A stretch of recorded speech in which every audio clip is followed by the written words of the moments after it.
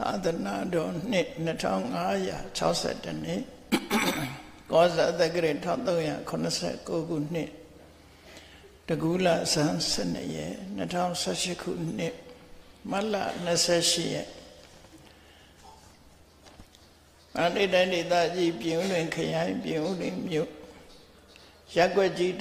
17ရှင်ငယ်ချင်းရွာပရဟိတမျက်မမြင်ဘက်ဆုံးပညာသင်ချောင်း ပထမမြတ်ခုံဓမ္မယုံကျောင်းတော်ကြီးတွင်ဆင်းခြင်းပပြုလုပ်အပ်သည်ဆရာတော်ဦးကြီးရဦးစီးတီထောင်သည်ပရဟိတမျက်မမြင်ဘက်ဆုံးပညာသင်ချောင်းတီထောင်ဖွင့်လှစ်ခြင်း25နှစ်ပြည့်ငွေရုပွဲတော်အကျိုးဓမ္မပူဇာအထူးဓမ္မသဘင်ခန္ဓာ၌ ရဟိတမျက်မမြင်ဘက်ဆုံးပညာသင်ကြောင်းဥစီပရဏနာယကဆရာတော်ဥညေယနဲ့တပိဒါယကဒါယကမများဤအမတဌာနဓမ္မဌာနဖြစ်ဖြင့်ဟောကြားအပ်တော်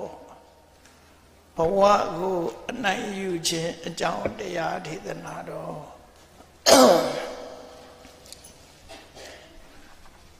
ဒီကနေ့ညဓမ္မသဘင်ခန္ဓာကိုရှင်ဘုန်းတော်သခင်ရှင်တော်မြတ်ဖရာဤ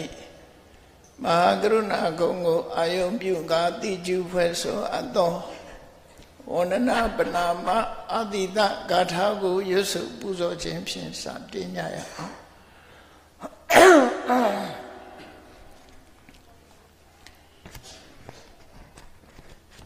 ယောကပဂောတိဟိပိယပမေယံကာလံကရွန်တောတိဒုက္ခရာနိခေရံကတောလောကဟိတယနာထောနမောမာကာရုဏိကတတတ္တ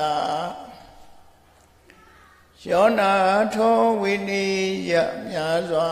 တတ္တဝါဤချမ်းသာစီပွားလူလာတောင်းတဂုံပေါင်းခါသဖြင့် နာထမြညာကျင်ရှင်တော်မြတ်ဖရာသည်ကပ္ပဂောတိဟိပိဂရေကဘာအရေးအတွက်သင်္ချာတို့ဖြင့်တော်လဲအပေမေယံရည်တွေတိုင်းတာဖော်ပြခြင်းငါမစွမ်းနိုင်ပါသောကာလံလေးအသင်ချေသိနေကဘာရှိကြသောကာလပတ်လုံး လောကဟိတယတတလောကဤအကျိုးစီးပွားအလို့ငါအတိဒုက္ခရဏိဥ္စာအသက်ချေလဲအင်္ဂါမေတ္တာကြီးမာသမိသာနှင့်တထာစနီဆွညင်းကြီးဟု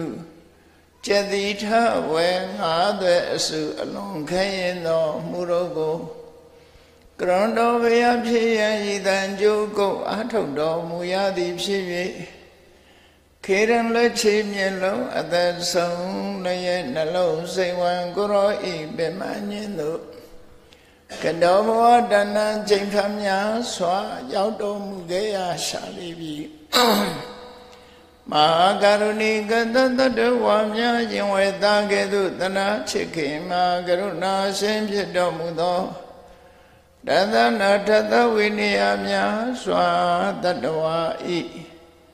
ချမ်းသာစီးပွားလိုလားတောင်းတကုံပေါင်းခါသည်ဖြင့်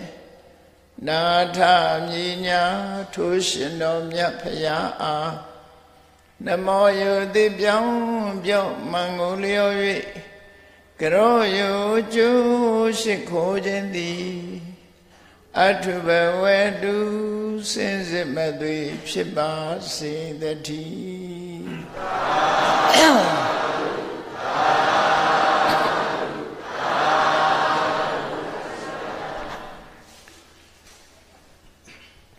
ဘဝကိုအနိုင်ယူခြင်းလူတိုင်းလူတိုင်းဟာကိုယ်စီဘဝရရှိထားကြတာဖြစ်တော့ဘယ်လိုဘဝပြိုးနဲ့ပဲဂျုံတွေ့ဂျုံတွေ့ဘဝကိုနိုင်ယူနိုင်အောင်ကြိုးစားအထောက်ကြမှာဖြစ်တယ်ဒီအကြောင်းကိုလည်းပဲမြတ်စွာဘုရားဟောကြားတဲ့တုတ်တန်တွေထဲမှာ မြတ်စွာဘုရားရဲ့ဆုံးမစကားတွေထင်ရှားရှိဘဝဆိုဒီမှာအဆိုးနဲ့အကောင်းရောထွေးနေတဲ့အရာသာဖြစ်တယ်အကောင်းကြီးရှိတဲ့ဘဝမျိုးမရှိသလိုအဆိုးကြီးဆိုတာလည်းမရှိနိုင်သို့တော့အကောင်းဆုံးကိုလူတွေကသတ်မှတ်ပြောကြားနေကြတာအခြေအနေတစ်ခုကိုသာလဲသတ်မှတ်ပြောကြားနေတာဖြစ်တယ် အဆိုးကောင်းကြုံတွေ့တဲ့အခါဘယ်လိုအခြေအနေမျိုးကိုကြုံတွေ့ကြုံတွေ့စိတ်ဓာတ်တည်ငြိမ်မှုကိုရအောင်အမှန်ကန်ဆင်ញင်သုံးသပ်ပြီးတော့ဘဝကိုအနိုင်ယူနိုင်ကြရမှာဖြစ်တယ်။လောကလူသားတွေဟာဘဝကိုအနိုင်ယူတယ်လို့ထင်ကြပေမဲ့များအားဖြင့် ဘဝကိုရှုံးပေးကြရတာများတယ်ပေါ့။ဒါကြောင့်မို့ဘဝမှာကြုံတွေ့ရတဲ့အတွေ့အကြုံတွေနဲ့ပတ်သက်လာလို့ရှိရင်ထိုအတွေ့အကြုံဆိုဒီမှာအခက်ခဲမျိုးစုံအကောင်းမျိုးစုံအဆိုးမျိုးစုံကိုကြော်လွှားရတာဖြစ်လို့အကောင်းကြောင့်ကြုံတွေ့ရတဲ့အနေအထားပြောမှာဝမ်းသာခြင်းနဲ့ အဆိုးနဲ့ကြုံတွေ့တဲ့အခါမှာဝမ်းနဲ့ခြေကွဲခြင်းဆိုတာတွေဖြစ်နေမဲ့ဆိုရင်ဘဝကိုရှုံးပေးတယ်လို့ခေါ်တယ်အဲ့ဒါလို့မဟုတ်ဖ ೇನೆ အကောင်းတွေ့လဲလိုက်လဲဝမ်းသာမမနာမတက်ဘူးအဆိုးနဲ့ကြုံတွေ့တဲ့အခါမှာလည်းပဲစိတ်အားငယ်ခြင်းစိတ်ထကြခြင်းဆိုတာမရှိဘူး အကောင်းဆုံးစုံလင်ရောပြန်းနေတဲ့ဘဝကြီးကိုစိတ်နှလုံးအေးချမ်းတည်ငြိမ်စွာလှုပ်တဲ့နာလှုပ်ပြီးတော့ဖြတ်ကျော်သွားခြင်းသာလည်းဘဝကိုနိုင်ယူခြင်းလို့တို့ဆိုတာပေါ့နော်ဒါကြောင့်မို့လူတိုင်းလူတိုင်းဟာအကောင်းနဲ့တွေ့တဲ့ပုဂ္ဂိုလ်တွေကဘဝကိုအနိုင်ရပြီးတော့အဆိုးနဲ့တွေ့တဲ့ပုဂ္ဂိုလ်တွေကဘဝကိုအရှုံးပေးတယ်လို့တာမန်လူတွေကထင်ကောင်းထင်တယ်မဟုတ်ဘူး အကောင်းကြီးတွေ့တဲ့လူကလည်းဘဝကိုအရှုံးပေးတာပဲအဆိုးနဲ့တွေ့တဲ့ပုဂ္ဂိုလ်ကလည်းဘဝကိုအရှုံးပေးစိတ်ဓာတ်တည်ငြိမ်မှုပြပြဆုပ်ယုပ်သွားလို့ရှိရင်ဘဝကိုအရှုံးပေးခြင်းပဲဖြစ်တယ်အဲ့ဒါလို့မဟုတ်ဘဲနဲ့စိတ်ဓာတ်တည်ငြိမ်စွာထားပြီးတော့လို့တဲ့လှုပ်ထိုက်တဲ့အလုပ်တွေအဟန္တာမန္တမြကြုံလွှားပြီး လောက်ကင်ဆောင်ရတောင်းခြင်းကသာလဲဘဝကိုအနိုင်ယူခြင်းဖြစ်တယ်လို့ရသော်ဗျာဟောတာကိုအလေးနဲ့ထားပြီးတော့စဉ်းစားကြရမှာဖြစ်တယ်ဒီတရားကလူတိုင်းလူတိုင်းနဲ့သက်ဆိုင်တယ်မြတ်စွာဘုရားကတရားနာပရိသတ်အများအထူးအားဖြင့်ယဟန်တန်ဃာတွေတရားနာပရိသတ်တွေခြားမှာအလေးနဲ့ထားပြီးတော့ အချက်၄ချက်နဲ့ဟောကြားခဲ့တာရှိတယ်။ပါလေလို့ဆိုရင်တမ္ပတ္တိနဲ့ဝိပတ္တိတမ္ပတ္တိဆိုတာပြည့်စုံခြင်းအောင်မြင်ခြင်းကောင်းကျိုးချမ်းသာရရှိခြင်းတပ္ပတ္တိဝိပတ္တိဆိုတာချုပ်ငဲ့ခြင်းမပြည့်စုံခြင်းဆင်းရဲဒုက္ခနဲ့ရင်ဆိုင်ရခြင်းဒါဝိပတ္တိပြည့်စုံခြင်းနဲ့မပြည့်စုံခြင်း ဘဝရဲ့မတူညီတဲ့အခြေအနေနှစ်ရပ်ပြည့်စုံခြင်းနဲ့မပြည့်စုံခြင်းဆိုတာကို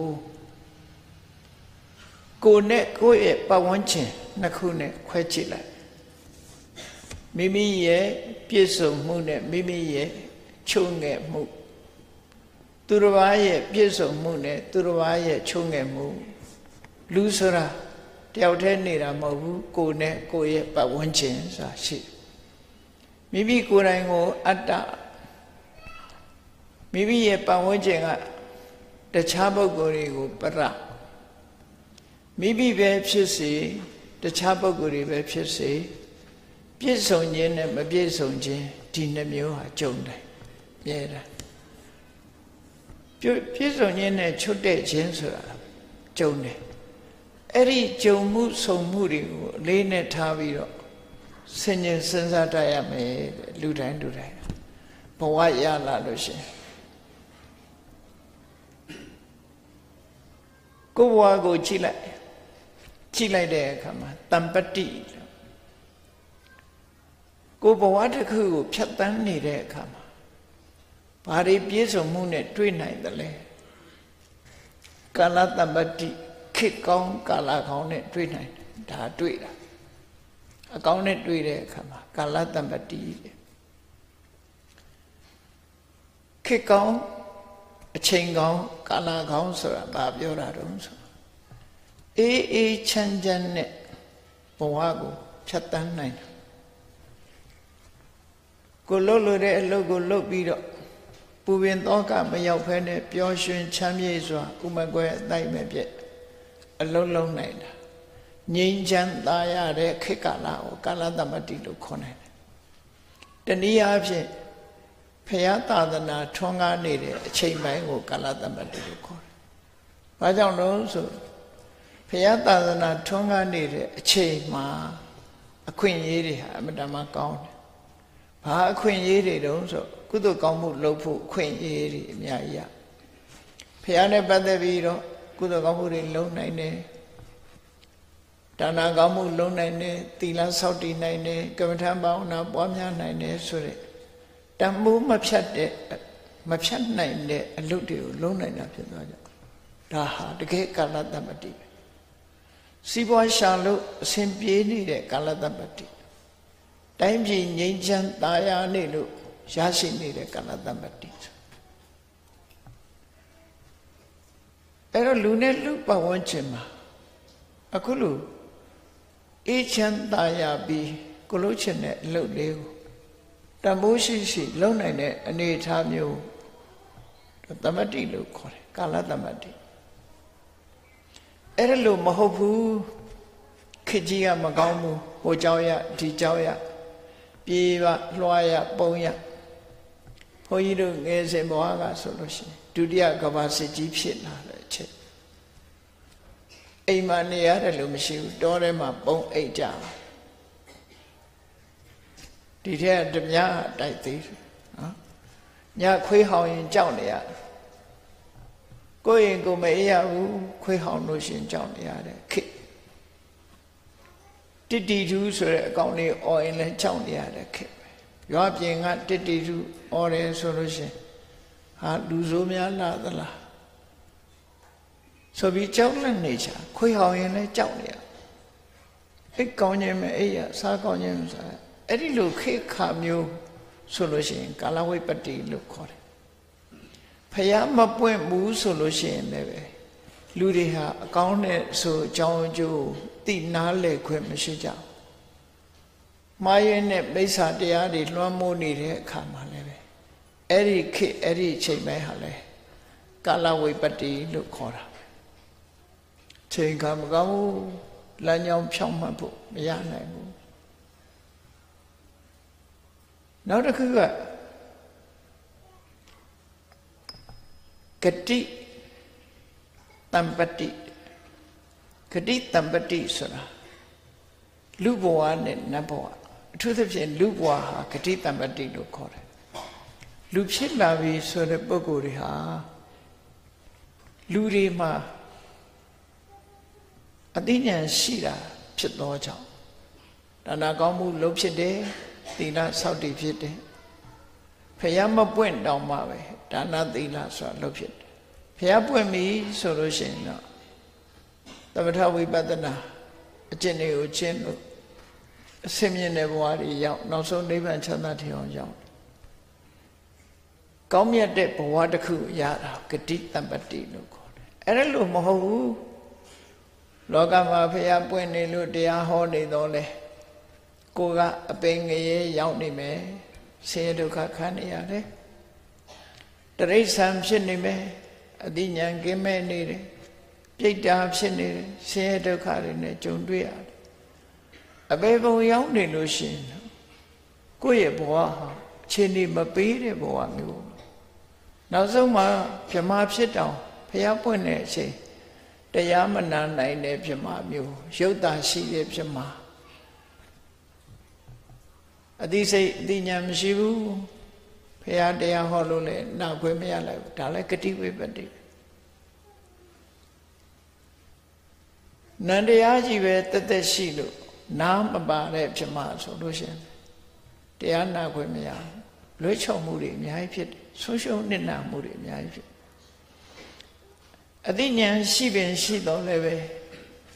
ဘဝကမပြည့်စုံသည့်အတွက်ကြောင့်လွဲချော်သွားတာမျိုးကြတော့ဂတိဝိပတ္တိလို့ခေါ်တယ်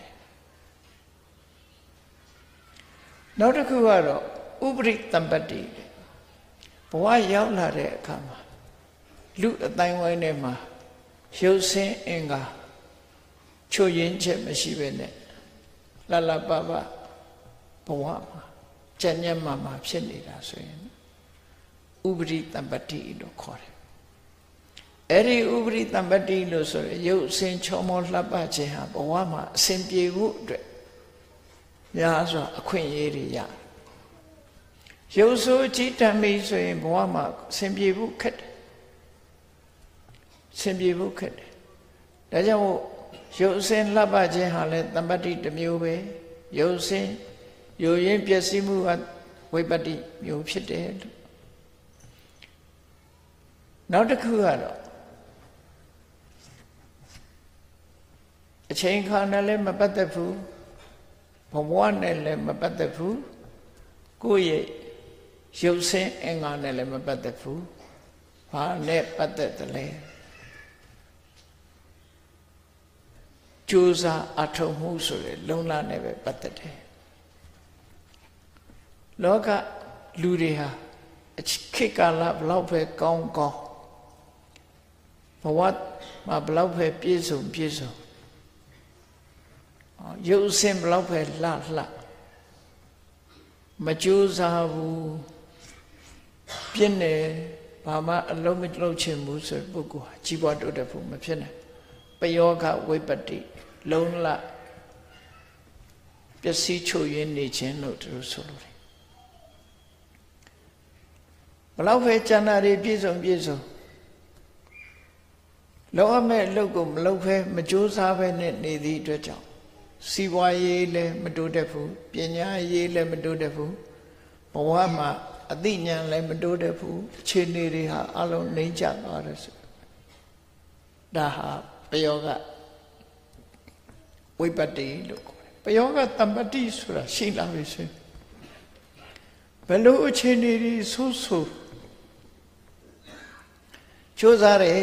ဘဝကြီးကိုရှော့မပေးဘူးပညာတတ်အောင်ကြိုးစားတယ်ခက်ခဲတွေဘလောက်ကြုံကြုံစီးပွားဥစ္စာတိုးတက်အောင်ကြိုးစားတယ်လူနေမှုအဆင့်မြင့်အောင်ကြိုးစားတယ်ဘဝအခက်ခဲတွေကိုခေါင်းနဲ့မထဲ့ပဲနဲ့လှုပ်တဲ့လှုပ်ထိုက်တဲ့အလုပ်နေမနာညပါအားကြိုးစားလုပ်နေပြီဆိုရင်ဒါပယောဂတမ္ပတိလို့ခေါ်တယ် တော့ပယောဂတမ္ပတိဆိုတော့ကိုယ့်လက်ထဲမှာရှိတယ်ကာလတမ္ပတိတို့ဂတိတမ္ပတိတို့ဥပရိတမ္ပတိတို့ဆိုတာတခါတရံကိုယ့်လက်ထဲရှိတာမဟုတ်ပယောဂဆိုတာကြတော့ကိုယ့်ရဲ့လုံလဝိရိယကိုဆိုလိုတယ်တော့လုံလဝိရိယရှိလာပြီဆိုလို့ရှိရင်တော့ဒီပုဂ္ဂိုလ်ထူးချွန်ပြောင်းမော့သွားတဲ့အနေအထားမျိုးရောက်လို့ပယောဂတမ္ပတိဟာပို့ပြီးတော့အရေးကြီးတယ် ဘလောက်ပဲလူကပြည့်စုံနေပါစေလှုပ်တဲ့လှုပ်ထိုက်တာကိုမလှုပ်ဖဲနဲ့ပြင်းရည်ပြီးတော့နေတယ်ဝိရိယနဲတယ်ဆိုတဲ့ပုံကိုယ်တွေဟာကြီးပွားတိုးတက်မှုမရှာနိုင်ဘူးတဲ့ကြီးပွားတိုးတက်မှုဒါကြောင့်မို့လူတိုင်းလူတိုင်းဟာစ조사အထောက်အမှလို့သူဆိုလို့တယ်ပေါ့ဒါဩကတခရောချိုးမှာဝိပတ္တိတရား၄ပါးဆိုပြီးတော့လူတွေကဆုတောင်းပြီးတော့ထည့်ပြောတယ် ဆုတောင်းရုံနဲ့တော့ရမှာမဟုတ်ဘူးကြိုးစားမှာပဲဖြစ်တယ်ပေါ့နော်ကြိုးစားအထုတ်ပြီးတော့ဘဝကိုအနိုင်ယူရမှာဖြစ်တယ်အလုံးဟာကြိုးစားလို့ဖြစ်လာအေးတမ္ပတ္တိနဲ့ဝိပတ္တိဆိုတာဟာတခုကောင်းမိမယ်တခုကောင်းခြင်းမှာကောင်းတယ်အဲ့ဒီကောင်းမှုမကောင်းမှုဆိုတဲ့ တမ္ပတ္တိနဲ့ဝိပတ္တိပြည့်စုံမှုနဲ့မပြည့်စုံမှုဒီနှစ်ခုအခါအားလျော်စွာလူတိုင်းလူတိုင်းဟာဆင်ញင်သုံးသပ်ကြည့်တဲ့နဲ့ငါမှာငါရဲ့ပတ်ဝန်းကျင်ဒီကနေ့ခေတ်ဟာခေတ်ကောင်းဟုတ်ကလားငါရထားတဲ့ဘဝဟာဘဝကောင်းဟုတ်ကလားငါရထားတဲ့ ဥပရိယုတ်ကြီးဟာတဲ့နောက်တင်းတယ်လူရဝင်လူစင်မိတဲ့ရုပ်ရည်မျိုးဟုတ်လားတော့ဟုတ်တယ်မဟုတ်ဘူးဒီတစ်ခုကိုဆင်ញင်သုံးသပ်ကြည့်ရမယ်ဆင်ញင်သုံးသပ်တာဘာအတွက်လဲလို့မေးလို့ရှိရင်အမှန်သိဖို့အတွက်ပြည့်စုံနေလို့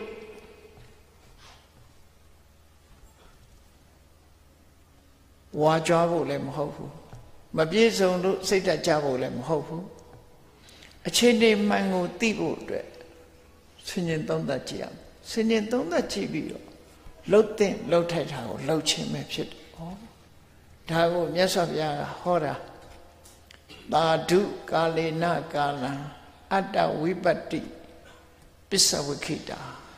အတ္တတမ္ပတ္တိပစ္စဝိခိတာအေးတင့်တော်တဲ့အချိန်ခါ ကြုံကြိုက်လာတဲ့အချိန်တိုင်းအချိန်တိုင်းကိုယ့်ရဲ့ပြည့်စုံမှုမပြည့်စုံမှုကို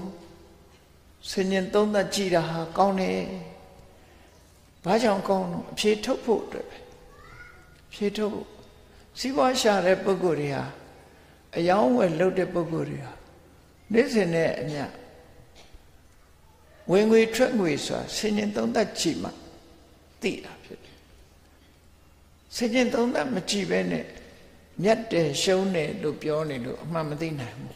။ဒါကြောင့်စီးပွားလုပ်ပြီဆိုလို့ရှိရင်ဝင်ငွေထွက်ငွေတိကျမှန်ကန်တာကို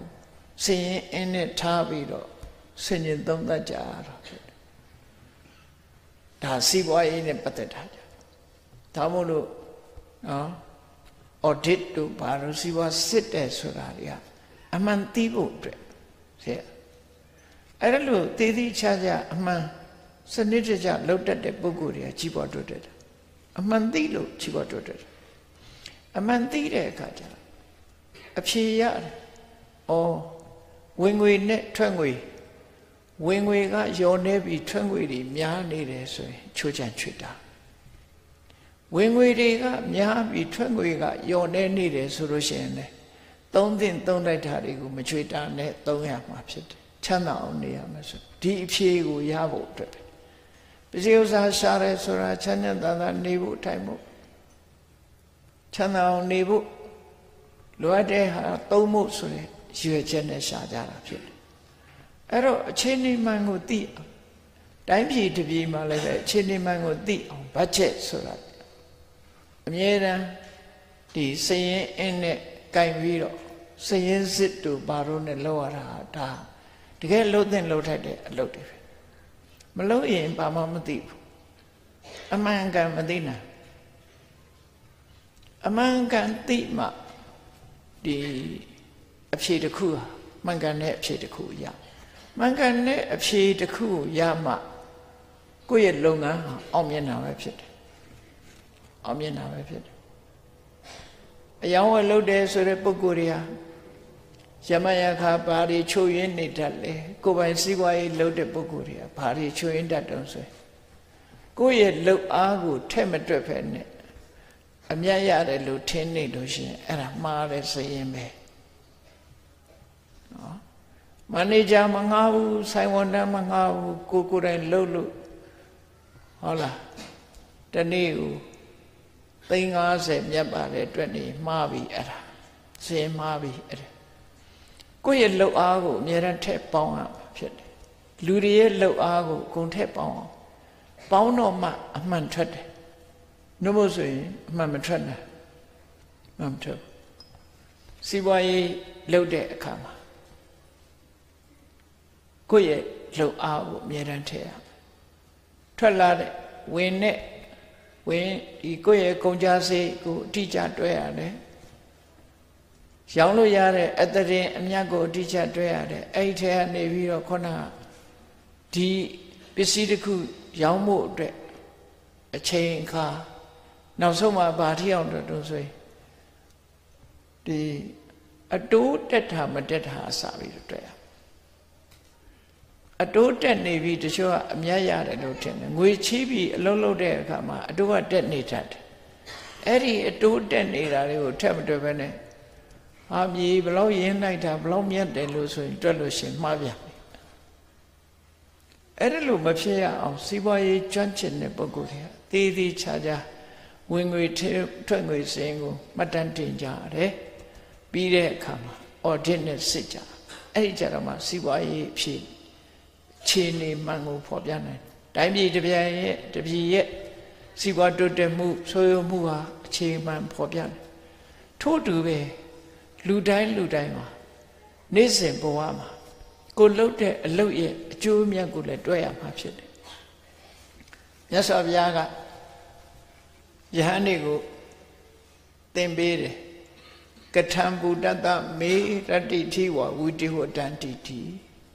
တနေ့တာကိုငါဘယ်လိုကုံခဲ့သလဲငါကုံတာဟာအရှုံးနဲ့လားအမျက်နဲ့လား ဘဝကိုဖြတ်ကျော်နေတာအရှုံးနဲ့ဖြတ်ကျော်သလားအဲ့တော့ဘယ်ဟာကိုအရှုံးဘယ်ဟာကိုအမျက်လို့ခေါ်မလဲလို့ဆိုတဲ့အခါမှာလူဘဝရလာတာဟာကုသိုလ်ကြောင့်ရလာကုသိုလ်ကောင်းမှုနဲ့အချိန်မကုန်မဲနဲ့အကုသိုလ်နဲ့အချိန်ကုန်နေဆိုရင်ကုသိုလ်ကြောင့်ရတဲ့ဘဝကိုအလကားသုံးပြုဖြစ်လိုက်တာအကုသိုလ်တွေနဲ့ဆိုရင်ဒါအရှုံးပေါ်သွားပြီလို့ဆိုလို့တနေ့ရင်ရှုံးတာမဟုတ်ဘူး တသက်တာအလုံးလုံးကြပြီဆိုရင် အကုသိုလ်တွေနဲ့ဆိုရင်ရှုံးနေပြီအရင်ကရှိတာကိုဆိုပါတော့အတိတ်ဘဝကဒါနကောင်းမှုလုပ်လို့ဒီဘဝမှာချမ်းသာကြွယ်ဝတယ်ဒီဘဝကြတော့မိမိလျော့ရော့ဒါနကောင်းမှုတွေမလုပ်ဘူးရှိလာတဲ့ပစ္စည်းကိုသုံးလို့ဖြုံးလို့ပျော်လို့ပါလို့နေတယ်ဆိုလို့ရှိရင်အဲ့ဒီပုံကိုမျိုးကို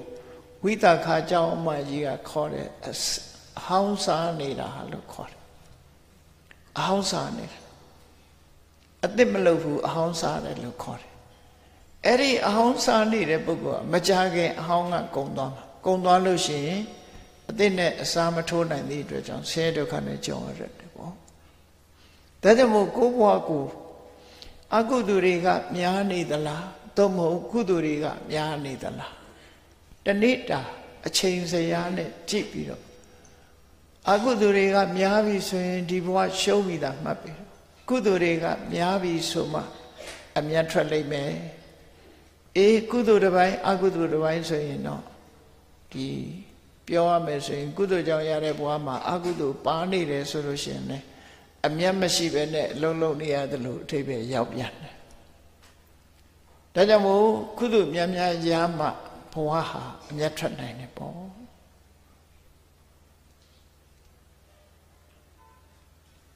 ရသော်ဘုရားကဒါကိုတွက်ခိုင်းတယ်အဲ့တော့ကုသိုလ်ဆိုတာဘာတွေတုံးဆိုကုသိုလ်ဆိုတာကိုကြည့်မယ်ဆိုအတိပညာကိုချင်းတရားကိုချင်းတရားနဲ့အတိပညာထားပါတော့အတိပညာရပြီဆိုလို့ရှိရင်ကုသိုလ်ထဲမှာတော့ပညာဆိုတာအမြတ်ဆုံးပဲပညုတ်တရာတပ္ပိဓမ္မာ ရရှိထားတဲ့သဘာဝတရားတွေထဲမှာအတိပညာတန်ဖိုးရှိဆုံးလို့ဆိုတယ်ကိုချင်းသီလနဲ့ပြည့်စုံတယ်ဒါနကောင်းမှုလုပ်တယ်သီလဆောက်တည်တယ်ဟောဘာဝနာတရားပွားများအထုတ်တယ်ပညာတွေစီးပူအထုတ်တယ်လောကီ လောကုတ္တရာဘဝမှာတမိုးရှိရှိနေနိုင်မှုပညာတွေစီးပူအထုတ်တယ်အသိဉာဏ်တွေဘက်ကတိုးတက်နေတယ်ဆိုလို့ရှိရင်ဘဝမှာအရှုံးမရှိသေးဘူးလို့ဒီလိုပြော နေ့စဉ်စီးပွားရေးကိုဝင်ငွေထွက်ငွေနဲ့တွက်ချက်ပြီးတော့စီးပွားရှာရတယ်လို့ပဲဘဝကိုစီးပွားရှာတဲ့အခါမှာလည်းပဲကုသိုလ်အကုသိုလ်နဲ့ချိန်ဆက်ပြီးတော့ဘဝကိုစီးပွားရှာရမှာဖြစ်တယ်အကုသိုလ်ဘက်ကအလေးသာသွားရင်ဒါဘဝရှုံးပြီကုသိုလ်ဘက်ကအလေးသာနေမှဘဝမြတ်တယ်အမြတ်ထွက်တယ် မြတ်နိုင်တဲ့မြတ်မြတ်အောင်ကြိုးစားခြင်းကုသိုလ်ဘက်ကအမြတ်ထွက်ဖို့ကြိုးစားအထောက်အမှာဖြစ်တယ်ဒါကိုရည်ညွှန်းပြီးတော့မြတ်စွာဘုရားကိုယ့်ရဲ့ပြည်စုံမှုကိုမကြာခဏဆင်ញင်သုံးသပ်ကြည့်တာကောင်းတယ်ကိုယ့်ရဲ့ပျက်စီးနေမှုကိုလည်းပဲမကြာခဏဆင်ញင်သုံးသပ်နေမှုကိုကြည့်မှုကကောင်းတယ်ကိုယ်နဲ့ပတ်ဝန်းကျင်ရဲ့ကိုယ်ပတ်ဝန်းကျင်ကိုယ်နဲ့ပတ်သက်တဲ့ပုဂ္ဂိုလ်တွေလည်းရှိတာ ကိုယ်နဲ့ပတ်သက်နေတဲ့ကိုယ်နဲ့ပတ်ဝန်းကျင်ကပုဂ္ဂိုလ်တွေရဲ့ပြည့်စုံမှုဆင်ញင်သုံးသပ်ကြည့်ရင်ကောင်းတယ်ပျက်စီးဆုံးရှုံးနေမှုတွေကိုလည်းဆင်ញင်သုံးသပ်ကြည့်ရမယ်ကြည့်နိုင်ရင်ကောင်းတယ်လို့ဒီအချက်၄ချက်ကိုမြတ်စွာဘုရားဆင်ញင်သုံးသပ်ကြည့်ကိုဆိုပြီးတော့ဟောခဲ့တယ်ဟုတ်ပြီဘဝမှာဒီလိုဆင်ញင်သုံးသပ်ကြည့်လိုက်လို့အဖြေတစ်ခုထွက်လာနိုင် အဖြေတစ်ခုကိုရှားမှာဖြစ်တယ်ဆင်ញင်သုံးသပ်ကြည့်လို့အကောင်းနဲ့တွေ့တဲ့အခါမှာတမတိအဆိုးနဲ့ကြုံတဲ့အခါမှာဝိပတ္တိလောကမှာလောကဓမ္မလောကဓာန်လောကရဲ့တဘာဝဟာအကောင်းကြီးလည်းမတွေ့ဘူးအဆိုးကြီးလည်းမတွေ့ဘူးအကောင်းတွေ့လိုက်အဆိုးတွေ့လိုက်အကောင်းကြုံလိုက်အဆိုးကြုံလိုက်ဆိုတာရှိနေတယ် တန်တရားရှိကြတဲ့ဘဝနဲ့တွေ့ခဲ့ပြီဆိုလို့ရှိရင်ဆင်ញင်သုံးသက်ကြည့်ရမှာနော်ဘဝအဆိုးနဲ့ကြုံတွေ့နေတဲ့အခါမှာမြတ်စွာဘုရားကအနမတက်ကတန်ရုပ်မှာဘာဟောတာဒီလိုဘဝမျိုးတွေရာထောင်သိန်းသောမကငါကြုံခဲ့ပြီးသားဖြစ်ပြီ ပတ်ဝန်းကျင်ကိုကြည့်လိုက်လို့ကိုယ့်ရဲ့ပတ်ဝန်းကျင်မှာလည်းပဲအခြေအနေဘဝမကောင်းတဲ့ပုံကိုယ်တွေတွေ့ငါလည်းအဲ့ဒီဘဝမျိုးကိုကြုံခဲ့တာများပြီလို့တွေးတောဆင်ញင်လိုက်ပါတဲ့ကောင်းတာတွေနဲ့တွေ့တဲ့အခါမှာလည်းပဲကောင်းတာဆိုတာလည်းအထင်ကြီးစရာမရှိပါဘူးငါလည်းကြုံတွေ့ခဲ့ဘူးပြီဒါတွေဟာအကောင်းတွေလည်းငါလည်းကြုံတာများလာပြီအကောင်းကိုအဲ့လိုတွေးခြင်းအပြင်ဘာဖြစ်လဲဆိုရင် လောကလူတွေကအကောင်းနဲ့တွေ့လို့အကောင်းရခြင်းတဲ့အခါမဟုတ်တာလုပ်တယ်မကောင်းတာနဲ့ကြုံတွေ့တဲ့အခါမှာမကောင်းတာကိုယွန်ရှာသည့်အတွက်ကြောင့်မကောင်းတာမဟုတ်တာကိုလုပ်တတ်တယ်အကုသိုလ်ကိုလုပ်တတ်တယ်ပေါ့အရေးကြီးဆုံးကကောင်းတာနဲ့တွေ့တွေ့မကောင်းတာနဲ့တွေ့တွေ့အကုသိုလ်မလုပ်မိဖို့ကအရေးကြီးတယ်ပေါ့ဒီအဖြေကိုရဖို့ရအတွက်ရသော်ဗျာစဉ္ညသုံးသက်ချီ ကောင်းတဲ့နဲ့တွေ့ပြီးတော့လည်းပဲကောင်းတဲ့ဘက်ကိုလိုက်သွားပြီးမဟုတ်တာလုံမိသွားတတ်တယ်မကောင်းတာနဲ့တွေ့လို့မကောင်းတာကိုကြောက်ရွံ့ပြီးတော့လည်းပဲအကောင်းလိုချင်စောအာချီနဲ့မဟုတ်တာတွေကိုလုံမိတတ်အဲ့ဒီကြရင်တော့အရှုံးနဲ့ပဲရင်ဆိုင်ရမယ်ဘဝအဆုံးနဲ့ပဲတွေ့သွားနိုင်ဒါကြောင့်မို့မြတ်စွာဘုရားကယဟန်တော်တွေမိမိရဲ့တပည့်သားဝကတွေဘုန်းကြီးတို့အပါဝင်ပေါ့ မြတ်စွာဘုရားရဲ့တရားတော်ဆိုတာအလုံးကိုဆုံးမတာပဲဖြစ်တယ်လူတိုင်းလူတိုင်းနဲ့သက်ဆိုင်တဲ့တရားတွေပဲဖြစ်တယ်မြတ်စွာဘုရားကအချက်ရှစ်ချက်နဲ့တတိထားပြီးတော့ဘဝကိုအနိုင်ယူတတ်ဖို့ဆုံးမခဲ့တယ်လူတိုင်းလူတိုင်းဟာဒီဟာကိုတတိထားဖို့လိုအပ်တယ်ရွယ်ချက်ရှိမြတ်စွာဘုရားဘာရွယ်ချက်တုံးဆိုရင် လောကမှာလူတွေရဲ့သဘာဝဟာအကောင်းနဲ့တွေ့ရင်စိတ်အားတွေတက်ပြီးတော့မကောင်းတာနဲ့တွေ့ရင်စိတ်တက်ကြတယ်ဆိုတာဒါလူသဘာဝလို့ဖြစ်အဲ့ဒါဟာကာဝယ်ဆောင်ရှောက်ရမယ့်ယောဂဝေဒနာကြီးတစ်ခုပဲပေါ့အကောင်းနဲ့တွေ့ရင်လည်းဝါကြွားမနေနဲ့အဆိုးနဲ့တွေ့ရင်လည်းစိတ်ထက်မကြနဲ့လို့ဆိုလိုတယ်အဲ့ဒါမကြအောင်ကိုယ့်ကိုထိမ့်နိုင်တာမှလူတော်လူကောင်း ဘဝကိုအနိုင်ယူတယ်ဆိုတာအကောင်းနဲ့တွေ့လို့စိတ်အားတွေတက်ပြီးတော့မမနာတွေကြီးလာတာမျိုးမဖြစ်ရဘူးအဆိုးနဲ့တွေ့လို့စိတ်ဓာတ်တွေကျပြီးတော့ကိုယ့်ကိုဒုက္ခရောက်အောင်လုပ်ချင်တာမျိုးထီအောင်မဖြစ်စေရအကုသိုလ်မှုတွေကရှောင်ရှားနိုင်အောင်ဒါကြောင့်မို့မြတ်စွာဘုရားဒီဆုံးမဩဝါဒပေးတဲ့အခါလူတွေမှာနှိမ့်ဆက်တာဘာလို့ဆိုရင်စိတ်ပဲစိတ်ကနှိမ့်ဆက်တယ် အဲ့ဒီနှိမ့်ဆက်တဲ့စိတ်ကိုမနှိမ့်ဆက်အောင်နှိမ့်ဆက်ပြီးဆိုရင်ဘာဖြစ်လဲဆိုရင်အဆိုးနဲ့တွေ့ရင်ဝိခာတာစိတ်တွေပင်မနေစိတ်ဓာတ်တွေကြာတယ်စိတ်ဓာတ်တွေကြာလာတယ်ပင်မနေနွမ်းနေပရိလာဟရင်ထဲမှာပူတယ်တွေးလိုက်တိုင်းမှာရင်ထဲမှာပူနေမပြောဘူးစိတ်ညစ်တယ်ဆိုတာတွေဖြစ်လာ အဲ့ဒီဝိကာတပရိလာဟဆိုတာတွေကဘာကြောင့်ဖြစ်တာတုံးလို့ဆို အမှန်မတွေးတတ်လို့ဖြစ်တာတဲ့ခုနလိုဆင်ញင်သုံးသပ်မှုမရှိလို့ဖြစ်တာဆင်ញင်သုံးသပ်ရအကောင်းနဲ့တွေးတွေးဆိုးနဲ့တွေးတွေးဆင်ញင်သုံးသပ်မှုလို့ဆင်ញင်သုံးသပ်မှုဖြစ်အောင်လုံးမဒီစိတ်ပင်ပန်းမှုဆိုတာကိုလည်းကြော်လွှားနိုင်တယ်စိတ်အားတွေတက်ကြွပြီးကိုယ့်ကိုယ်အထင်ကြီး မာနာကြီးဝင်ပြီးမကောင်းတာလုပ်မှုဆိုတာကိုလည်းပဲထိန်းနိုင်တယ်အရေးအကြီးဆုံးကတော့စိတ်ကိုထိန်းရမှာပဲဖြစ်တယ်ပေါ့စိတ်ကိုထိန်းရမှာဖြစ်တယ်လူတွေရဲ့တဘာဝ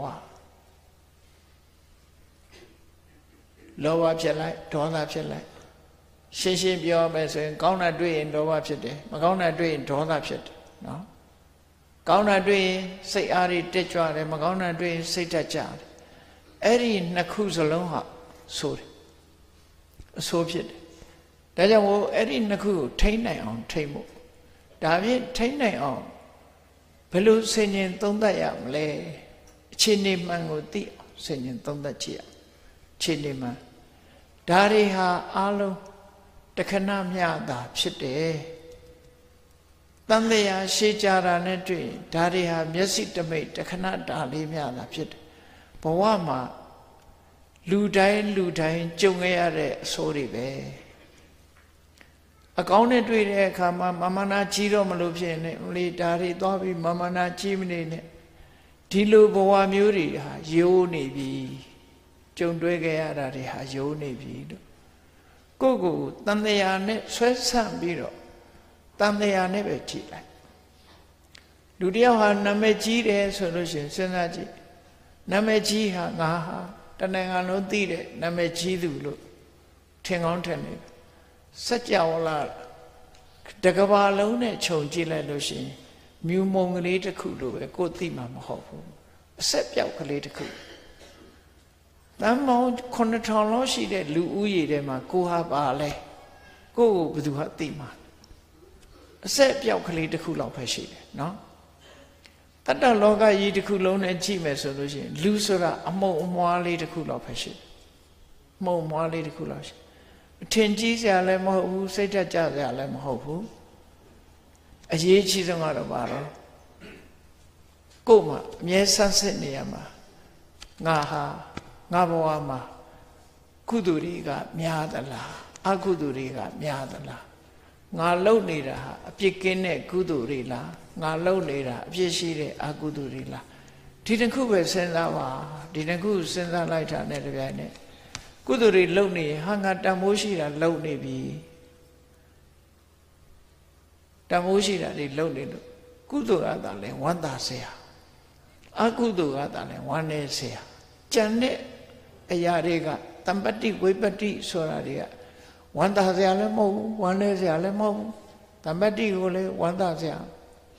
စီးပွားဥစ္စာတွေစဉ်းစားကြည့်လေလူတယောက်ဟာစီးပွားတွေအောင်မြင်လို့ဘလောက်ပဲချမ်းသာချမ်းသာသူချမ်းသာလို့ခံစားနိုင်တာဘလောက်ကြာနော်နှစ်80 50 90တရားဒါပဲမဟုတ်လားဒီဘဝမှာဆိုရင်ဒီတဲ့သူမကြော်နိုင်ဘူးချမ်းသာတဲ့လူလည်းဒီတဲ့မကြော်နိုင်ဘူးဆင်းရဲတဲ့လူကရောဒီတဲ့မကြော်နိုင် အတိုင်းတာတစ်ခုအတွင်းမှသာလေချမ်းသာဆင်းရဲဆိုတာကိုပြောနေကြတာဖြစ်ဒါလည်းမတိုင်းနဲ့တိုင်းရမှာ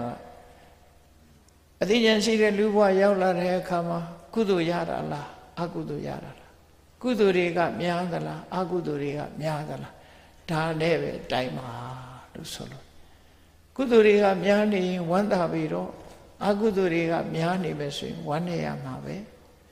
အကုသိုလ်တွေရောကြနေဖို့ကြိုးစားရမယ် ကုသိုလ်တွေတိုးပွားနေဖို့ကြိုးစားရမယ်အဲ့ဒီကြိုးစားမှုဟာမှန်ကန်တဲ့ကြိုးစားမှုဒါဟာအဓိကအကြတယ်လို့မြတ်စွာဘုရားဟောတာဟောလို့ရင်ဖြစ်တယ်ဒါကြောင့်အချက်ရှိချက်နဲ့ပတ်သက်ပြီးတော့မြတ်စွာဘုရားဘဝကိုအနိုင်ယူတတ်ဖို့လူဆိုတာတစ်ခုတော့ကြုံတာပဲဆိုပါစို့နံပါတ်1ကကိုယ်ဘဝမှာလူချင်တာတွေရတယ် လာဘဆိုတဲ့နောက်ကလူချင်တာတွေရတယ်ပြည့်ပြည့်စုံတဲ့ဘဝပြည့်ပြည့်စုံတဲ့ဘဝရလာငါလူချင်တာရတယ်ဟေးဆိုပြီးတော့မမနာတွေမထောင်လွှားလိမ့်နဲ့တဲ့မမနာကိုထောင်လွှားရင်ဘဝကိုအရှုံးပေးလိုက်တာနဲ့သွားတူတယ်ဘယ်လိုစဉ်းစားဩရတယ်ဆိုတာတခဏအကြောင်းဆုံးလို့ရတာဖြစ်တယ်ဘယ်ရာမှမတည်မြဲဘူး အခြေအနေကောင်းလို့ရနေတာသာဖြစ်တယ်ဒီအခြေအနေဟာဝမ်းသာစရာမဟုတ်ဘူးအရေးကြီးတာစီးပွားဥစ္စာရတာတဲ့ငါမှရဖို့ရတာဘာအရေးကြီးတော့ကုသိုလ်ရဖို့ကအရေးကြီးတယ်လက်စဉ်းစားကြည့်လိုက်လက်စဉ်းစားကြည့်လိုက်လို့ရှင်ရတာရဲ့တန်ဖိုးသိလားငွေချေးတနာရတဲ့တန်ဖိုးနဲ့ကုသိုလ်ရတဲ့တန်ဖိုးကမတမကွဲပြားခြားနာတယ်ဒါကြောင့် ငွေချေးတနာဒီအစိတ်ပိုင်းတစ်ခုကိုအနိုင်ယူတာအဲ့ဒါလို့အနိုင်မယူနိုင်ဘူးဆိုရင်လူဟာရမှုကိုအကြောင်းပြုပြီးတော့မမနာတွေတက်လာတယ်မန်ရစ်တယ်အကုသိုလ်တွေလှုပ်တယ်သူဖြစ်လာကဲသူရဲ့ဆန့်ကျင်မဲ့တခါလေကြတော့အစင်မပြေဘူးလုံးလို့မကောင်းဘူးစီဝါရေးကြတဲ့အခါညီးကြတယ်အယောင်ဝယ်မကောင်းဘူးရောင်းလို့ဝယ်လို့မကောင်းဘူး မရဘူးရှာလို့ဖွေလို့မရဘူးနဲ့ညီးကြအရှာလို့ဖွေလို့မရဘူးဆိုပြီးတော့လူတွေကစိတ်ဓာတ်ကြအဲ့ဒီစိတ်ဓာတ်ကြပြီးတော့အလုပ်ပြောင်းမှပဲကောင်းရောင်ကောင်းဝယ်လို့လို့မရဘူးမွေးမြူရေးလုပ်ဥမှပဲဆိုအကောင်ဘလောင်နေတိုက်အာကုသိုလ်တွေရအောင်ထပ်ပြီးတော့နော်မကောင်းတဲ့အလုပ်တွေကိုလုပ်မယ်ဆိုရင်အာကုသိုလ်တွေအလုပ်တွေဖြစ် ကောင်းတာလုပ်လို့စီးပွားမတက်ဘူးအရေရောင်းမှစီးပွားတက်တယ်မူရစေဝါလုံးမှပဲဆိုမကောင်းတဲ့ဘက်ကလှည့်တွေ့မရတာအကြောင်းပြုပြီးအေးအာကုသိုလ်ဆိုတာလိုက်လာမရမှုကိုအကြောင်းပြုပြီးတော့ဒီတစ်ခုတည်းကိုကြည့်ပြီးတော့လှုပ်လိုက်မယ်ဆုံးဖြတ်လိုက်မယ်မရမှုကသူ့ကိုအနိုင်ယူတာသူကမရမှုကိုအရှုံးပေးလိုက်ရတာ ਨੇ တူတူပဲ မရဘူးဆိုတဲ့အခါမှာစဉ်းစားကြည့်အေးအခြေအနေမပေးသေးလို့မရတာစူးစမ်းလုပ်မယ်ချွေတာသုံးမယ်နော်ခါတိုင်းတစ်နေ့ကိုဟောလားလင်္ကာသိန်းသုံးလို့ရှိရင်အခုငါတသိန်းနဲ့လောက်အောင်နေမယ်စသဖြင့်ပေါ့ခဏခေတ်စေးနှုံနေဆိုဘလောက်နဲ့လောက်အောင်သုံးမယ်ပေါ့ချိုးချလိုက်မယ်ချွေတာလိုက်မယ် မရတဲ့အခါမှာစိတ်ထမကြပဲနဲ့ချိုးချံချွေတာခြင်းဖြင့်မရမှုကိုကာကွယ်တာဘုန်းကြီးတို့ငယ်စဉ်တော့ကြားဘူးတဲ့ဒုတိယကဘာစစ်ဖြစ်လာတဲ့အချိန်မှာအင်္ဂလန်နိုင်ငံကြီးကစီးပွားကျသွားညမပြေအုပ်သွားတဲ့အင်္ဂလိပ်တွေမစီးပွားကျစီးပွားကျသွားတော့တနင်္ဂနွေလုံးချိုးချံချွေတာလောက်တာဘာလောက်ကော်ဖီပကံလေးတွေတေးသွားတေးသေးလေးတွေ မုံလေးတွေကလည်းပေါမုံအရှက်ကလေးတွေကလည်းသေးသေးပဲထုတ်တယ်တနင်္ဂနွေလုံးအဲ့ဒါဥပဒေထုတ်ပြီးတော့အဲ့တိုင်လိုက်တာကော်ဖီဆိုလို့ရှိရင်ဝယ်ရင်တစ်ခွက်ပဲတောင်းခွက်သေးသေးတစ်ခွက်မုံဆိုလို့ရှိရင်နှစ်ချက်နှစ်ချက်တည်းပိုးဝယ်လို့မရကတ်တက်ပြစ်လိုက်တာအဲ့ဒါဗမာပြည်မှာလည်းပြောကြပါတယ်ထမင်းတနတ်လျှော့စားဆိုရင်ရည်စရာလုံးကြတဲ့လူတွေလျှော့စားခိုင်းလို့မရ ရည်စရာမလုံးရဘူးအမှန်ကတော့ဒါတကယ်ကတော့အဲ့ဒီတိုင်လိုက်နာခြင်းတော့အဲ့ဒီတိုင်လိုက်နာခြင်းတော့တယ်မှန်လူတိုင်းလူတိုင်းမှာဝင်ငွေထွက်ငွေချိပြီးတော့ရှော့ချတဲ့နာကိုရှော့ချအလေးလွင့်နေမရှိအောင်လို့အဲ့ဒါဆိုရင်မတ်မတ်လာစီးပွားတက်လာဥပမာတယ်လီဖုန်းပြောတယ်နော် တနေ့ကို9000ဘိုးကောင်ပြောတယ်လို့ Facebook တွေကြည့်တယ် internet တွေကြည့်တယ်ပတ်စံလေးကုန်ရှော့ချလိုက်မယ်တနေ့ကို900ဘိုးပဲကြီးတော့မယ်ဆိုဒါရှော့ချတာခေါ်တာပေါ့တော့ကဲဖုံးပိတ်ထားလိုက်အောင်မယ်မကြီးတော့ဘူးရှော့ချတာပဲဒါလည်းစီးပွားအခြေအနေဝင်ငွေထွက်ငွေဝင်ငွေကိုချိပြီးတော့လူတွေကလိုက်နာတယ် လိုက်နာတယ်အဲ့လိုလိုက်နာလို့ရှိရင်အတရင်ဝင်ငွေဟာပြန်တက်လာဒါစီးပွားရေးနဲ့ပတ်သက်လာဒီပြင်ကိစ္စနဲ့ကြီးလိုက်လို့ရှင်လေအကုသိုလ်တွေများနေတယ်ဒီအလုပ်တွေလုပ်ရင်အကုသိုလ်တွေများတယ်ဆိုရှော့ချလိုက်အကုသိုလ်တွေမဖြစ်အောင်ကုသိုလ်ဘက်ကတိုးလို့လိုက်လျှော့ချတာပဲဒါ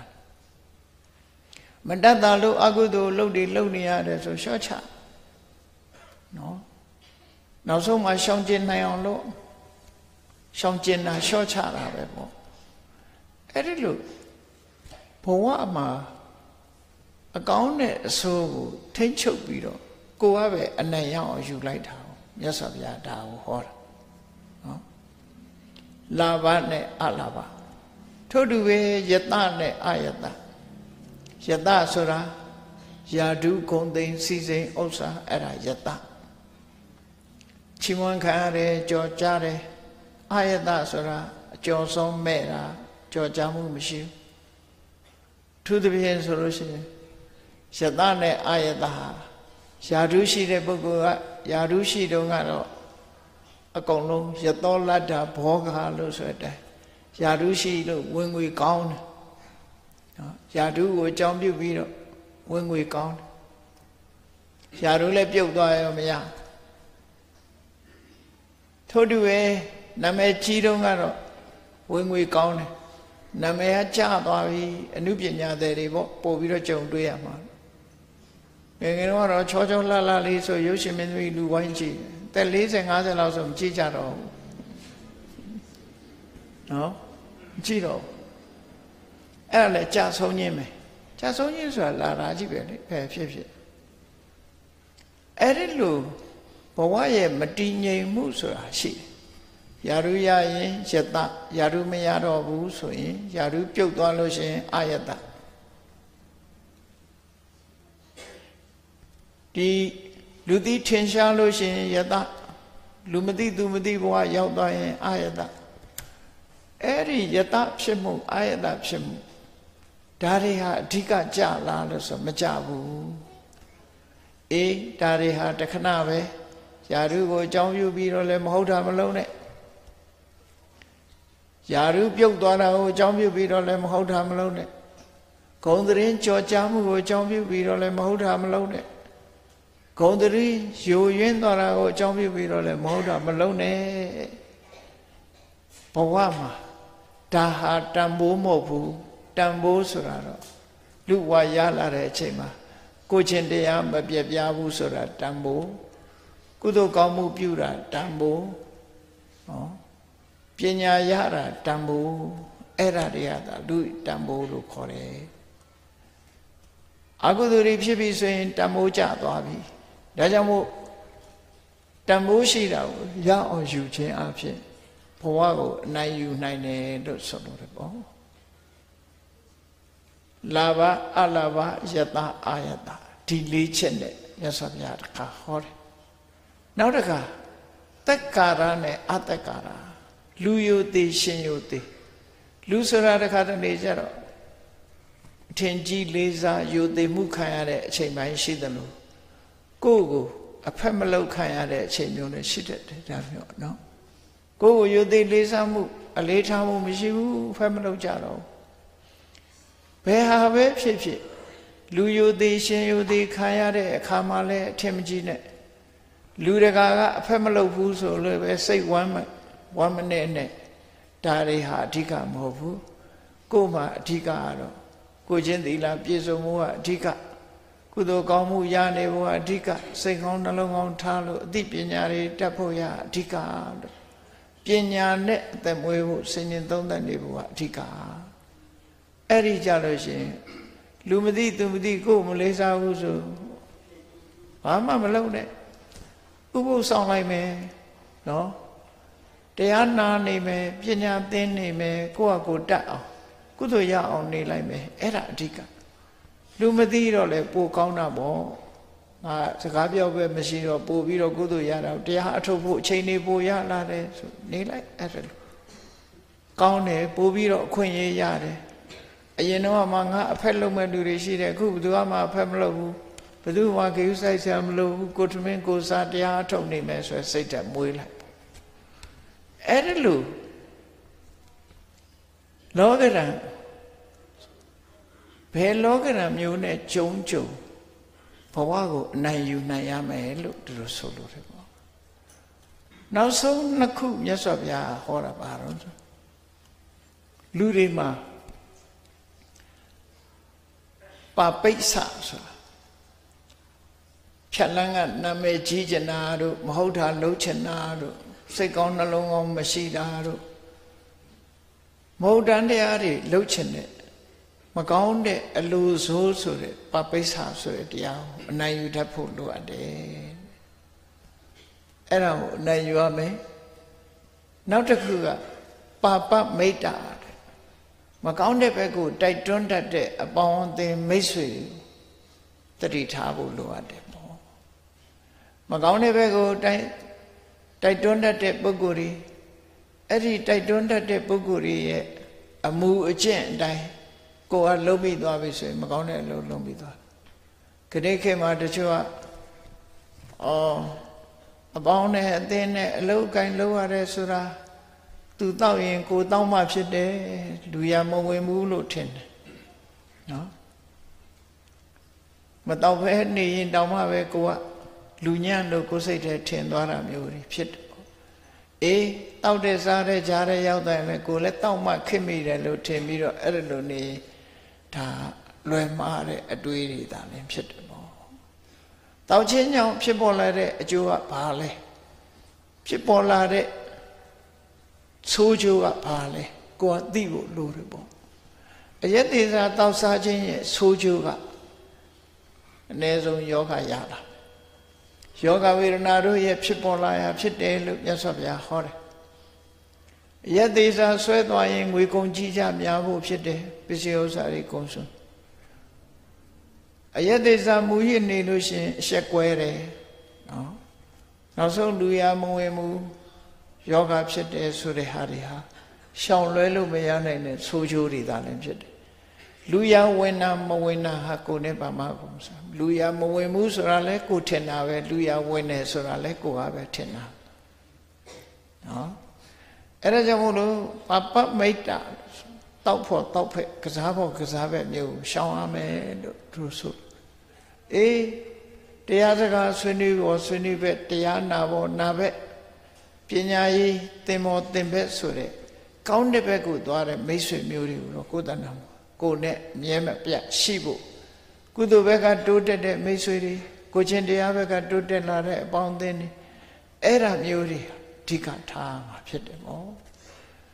အဲ့ဒီလိုအဓိကထားပြီးတော့ဘဝကိုအနိုင်ယူနိုင်ရမယ်စိတ်ကောင်းနှလုံးကောင်းမွေးမြူခြင်းဖြင့်ပါပိဿာဆိုတဲ့စိတ်ယုံမှာကိုလွှမ်းမိုးနိုင်ရမယ်မိကောင်းဆွေကောင်းသူတော်ကောင်းတွေနဲ့ပေါင်းသိခြင်းအဖြစ်ပါပမိတ်တဆိုတဲ့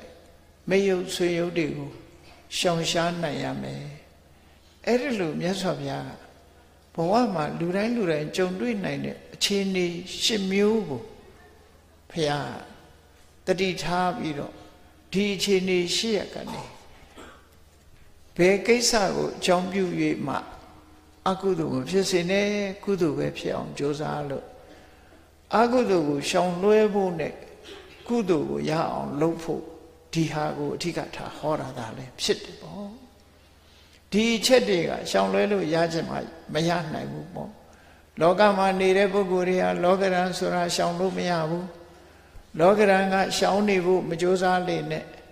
ရှောင်ဖို့ကြိုးစားရမှာလောကရန်ကြောင့်ဖြစ်ပေါ်လာတဲ့အကုသိုလ်ကိုရှောင်အောင်မှာဖြစ်တယ်ပေါ့လောကရန်ကြောင့်အကုသိုလ်မဖြစ်စေဖို့ကုသိုလ်တရားကုသနာမှာရအောင်လုပ်ဖို့ ဒါဟာအဓိကမြတ်ဗုဒ္ဓရဲ့ဆုံးမသွန်သင်ခြင်းဖြစ်တယ်ဆိုတာမှတ်သားကြရအောင်ကုသိုလ်ရမှသာလင်ဘဝကိုအနိုင်ယူတာဖြစ်တယ်ကုသိုလ်မရဘူးဆိုရင်ဘဝကိုအရှုံးပေးရခြင်းပဲဖြစ်တယ်ဆိုတာကိုဒီအချက်နှစ်ချက်ကိုမှတ်သားထားဖို့လိုအပ်တယ်ပေါ့တရားချစ်ခင်သူတော်စင်ပြိဿပေါင်းတို့ဘဝကိုအနိုင်ယူခြင်းဆိုဒီမှာမြည်သည့်အခြေအနေမျိုးနဲ့ကြုံကြုံအကုသိုလ်မှန်သမျှကို မဖြစ်အောင်တားပြီးကုသိုလ်မှန်သမျှကိုယ်တဏ္ဍာမှာကြီးပွားတွတ်တဲ့အောင်လှုပ်ခြင်းသာဖြစ်တယ်ဆိုတာကိုအမှန်ကန်မြင်ပြီးတော့မှန်ကန်စွာမြင်တဲ့အတိုင်းမှန်ကန်စွာကြိုးစားအားထုတ်နိုင်ကြပါစေကုန်သတည်း